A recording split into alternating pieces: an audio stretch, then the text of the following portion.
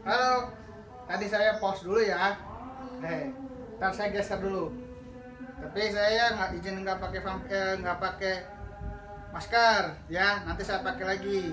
Kalau nggak tanggal 1 Juni itu hari Kesaktian Pancasila. Saya aja saat ini vampir apa lo?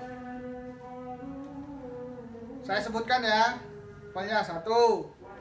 Oh enggak. Ketuhanan yang Maha Esa. Dua.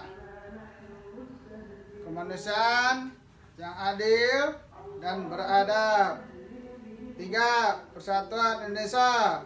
Empat. Kerakyatan yang dipimpin oleh hikmat permus- permusyawaratan perwakilan.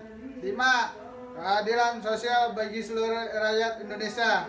Oke, kita pause dulu ya. Saya mau ini kan